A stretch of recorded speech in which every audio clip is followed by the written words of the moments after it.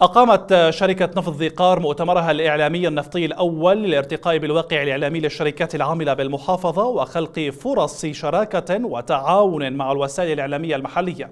المؤتمر يأتي لتسليط الضوء على ما قدمته الشركة في جميع المجالات ومنها الخدمات المختلفة لأبناء المحافظة حيث عملت على تحسين الواقع الخدمي وتوفير البنى التحتية والطرق والمستشفيات المختلفة للمناطق المحيطة بالحقول النفطية بالإضافة إلى تقديم الدعم والإسناد أثناء جائحة كورونا في جميع المناطق.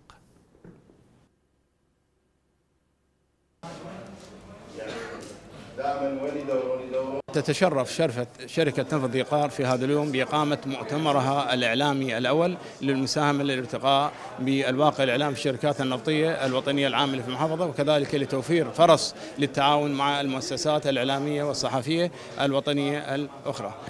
شركة نفط إيقار شركة معطاة في جميع المجالات وقدمت ما قدمت لخدمة أبناء هذه المحافظة آه، من خلال المساهمة من خلال الخدمات الاجتماعية وغيرها بناء مستشفيات وتعبير طرق في مناطق حقل الغراف وغيرها بناء مستشفيات وأخيرها وبناء مستشفى للأمراض السرطانية في المحافظة ودعم مستشفى القلب بالأجهزة الطبية. يهدف المؤتمر إلى الانفتاح على المؤسسات آه، الإعلامية الوطنية وأيضا يهدف إلى إيصال رسالة إلى المستثمرين في قطاع النفط والغاز والراغبين في العمل في العراق وفي محافظة ذيقار بأن محافظة ذيقار محافظة آمنة للاستثمار في قطاع النفط والغاز. التواصل المستمر والقرب المستمر بين وسائل الإعلام والدوائر الإعلامية في آه، المؤسسات الحكومية حالة صحية جدا.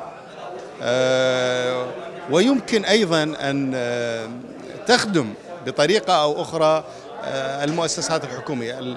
وسائل الإعلام دائما تبحث عن المعلومة من مصدرها وتبحث التسهيل الوصول إلى هذه المعلومة. قطاع النفط قطاع مهم وحساس جدا يحتاج إلى الإعلام الموضوعي المهني الذي يتعامل مع آه، الأرقام. في الوقت الذي يجري فيه التنسيق آه، بين الإعلام و شركة نفط ديقار طبعا يحتاج إلى تفعيل موضوعة المنافع الاجتماعية وكذلك عوائد البترول دولار من خلال ترجمتها على شكل مشاريع تخدم أبناء محافظة ديقار هذه المحافظة اللي تعاني كثيرا من نقص الخدمات. فبالتالي أعتقد هذا الموضوع هو أهم موضوع رئيسي يمكن أن يكون هنالك يخلق تعاون بين وسائل الإعلام وإعلام الشركة.